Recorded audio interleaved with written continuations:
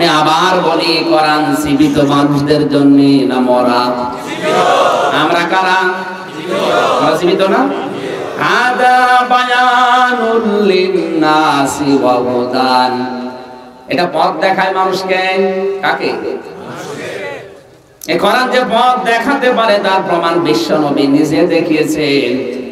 জিনদের একটা দলের সামনে যখন কোরআন পড়ছিলেন তিনি জিনেরা মাত্র সূরা ইয়াসিনের কয়েকটা আয়াত শোনার পরে তারা বলেছে, ফাকালু ইন্না সামি'না কুরআনান ওয়াজাবা অবশ্যই আমরা আশ্চর্য কোরআন শুনলাম। কোন জিনেরা এ কথা বলছে জানেন, যাদের বয়স দেড় হাজার, দুই হাজার, পাঁচ হাজার বয়স।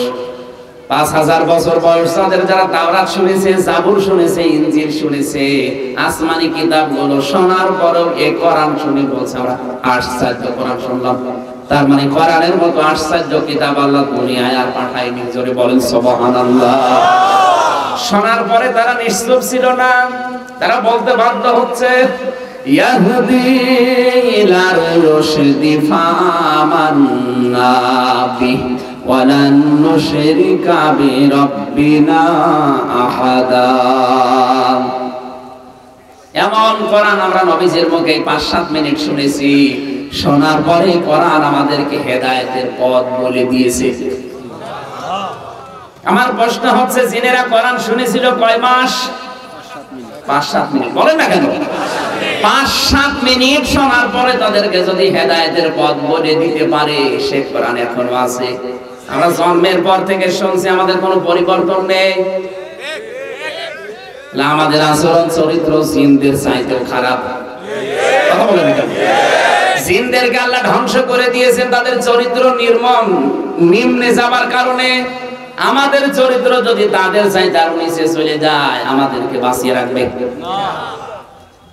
আর কোরআন শরীফ যদি কাউকে হেদায়েতের পথ বলে দিতে না পারে, বুঝতে হবে ওর কপালে আর হেদায়েত নেই। কারণ একচ্ছত্র মালিকানা কোরআনকে আল্লাহ দিয়েছেন আলিফ লাম মিম। যালিকাল কিতাবু লা রাইবা ফি। এই যে কিতাবের আগে আলিফ লাম। এই আলিফ লাম কিতাবের আগে দিয়েছেন কেন? আল্লাহ বোঝাতে চাই পৃথিবীতে একটাই মাত্র কিতাব আছে, মানুষকে হেদায়েত দিতে পারে, যার নাম কোরআন শরীফ। কোরআন বাদ দিয়ে হেদায়েত দেওয়ার মতো কোনো কিতাব এখন আর দুনিয়ায় নেই। এ কোরআন যদি আপনাকে পথ দেখাতে না পারে, আপনি মরা ছাড়া সোজা হবেন না। এজন্য আপনি আসলে আজকে কিছু নিয়ে যেতে পারবেন। মানিত্তাবা হুদা কোরআন আদাল্লাহুল্লাহ।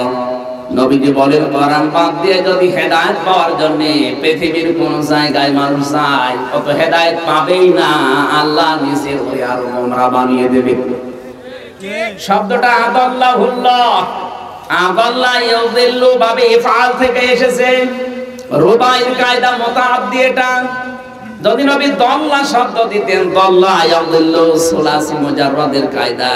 তাহলে বাংলা অর্থ আসতো আপনি নিজেই নিজেকে পথ ভ্রান্ত করে ফেলেছেন।